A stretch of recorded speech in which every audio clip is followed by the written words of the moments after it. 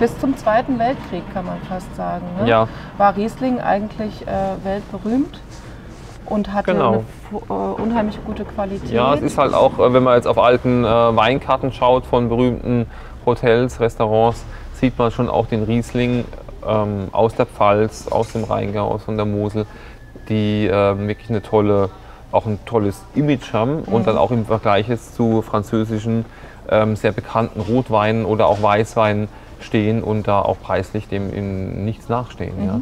Und ähm, da hat sich in den 60er, 70er Jahr, 80er Jahren leider ähm, der deutsche Riesling auch im Ausland sehr äh, gewendet ähm, in Richtung ähm, süß und, und, und, und, und, und billig auch dann letztendlich, auch keine, auch recht große Mengen und keine gute Qualität.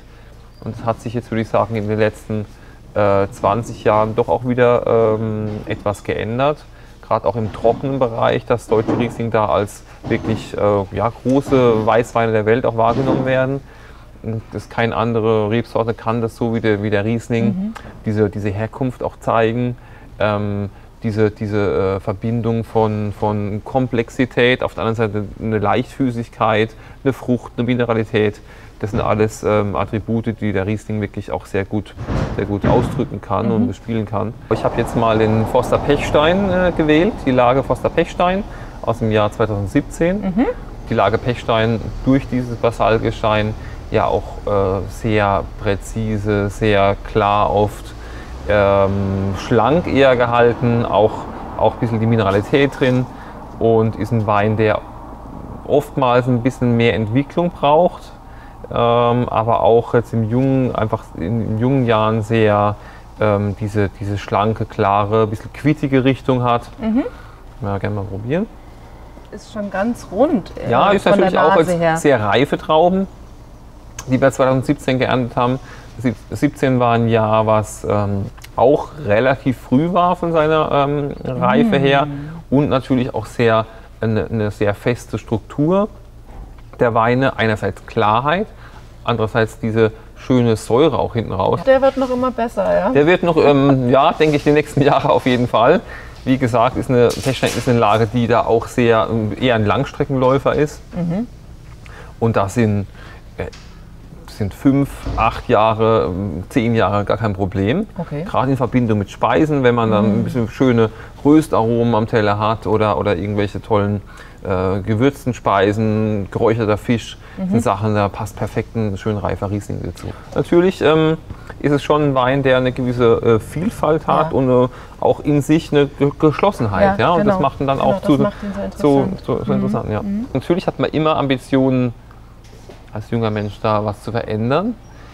Ähm, wobei ich hatte das ein bisschen das Glück auch, gerade was solche so Rebsorten ähm, Spiegel, der bei uns im Betrieb herrschte schon damals und auch der Betrieb auch schon relativ ähm, gut ähm, auf, äh, aufgestellt war.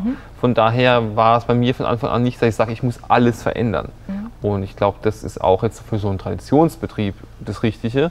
Aber natürlich jetzt Umstellung auf Öko-Weinbau, ähm, verschiedene äh, Methoden im Keller, auch draußen, auch, auch von der Vermarktung her. Wann habt ihr Viel mehr euer, Export äh, zum Beispiel. äh, Euer ja, sind verschiedene. EU-Siegel bekommen? 2012, Bio, ne? ja, 2012, ja. genau. Mhm. Und das ist ja so eine Umstellung von drei Jahren. Von drei Jahren, genau. Habt ihr ja. da viel umstellen müssen? äh, haben wir eigentlich nicht viel umstellen müssen. Mein Vater war da schon relativ nah dran. Bei uns wurden niemals Herbizide eingesetzt. Bei Ja. uns wurde nie mit Mineralstoffdünger gedüngt. Und ähm, insofern jetzt, jetzt machen wir eine Kompostbereitung auch zum Beispiel im Betrieb. Wir, wir sehen verschiedene Pflanzen, äh, Begrünungspflanzen ein, 30, 40 verschiedene ähm, Pflanzen in der, in der Saatgutmischung, einfach um die äh, Vitalität vom Boden, auch die, die Vielfalt vom, vom Ökosystem Weinberg einfach zu erhalten. Äh, bei uns, die Lagenweine, nehmen wir den Naturkork. Und ähm, es hat für mich ein bisschen auch einerseits mit Tradition zu tun, aber auch mit, dem, ähm, mit der Ästhetik. Ähm, das sind teilweise Weine, die auch in Top-Gastronomie ähm, ausgeschenkt werden. Und das Wein hat ja immer noch im, oder haftet ja immer noch auch ein bisschen, gewisses Image an. Ähm, ähm, positiv gesehen, sage ich mal, von, von, von, von, von Mysterium. Ähm, Gerade wenn der Kellner kommt und sein, ein bisschen seine Zeremonie da macht, alle sitzen am Tisch und das Mundwasser schießt ein und hat ja auch ein bisschen was von, mit Kultur zu tun. Absolut. Und ähm, der Naturkork hat auch in den letzten Jahren sehr an Qualität gewonnen. Gerade ähm, wahrscheinlich war der Hauptgrund, dass der Druck ein bisschen da äh, vom Korkmarkt weg war durch Ersatzverschlüsse. Aber für mich ist der Naturkork da schon auch ein optimaler Verschluss für Wein, wenn es eine gute Qualität ist. Ja. Dann Dankeschön. Cheers. Tschüss.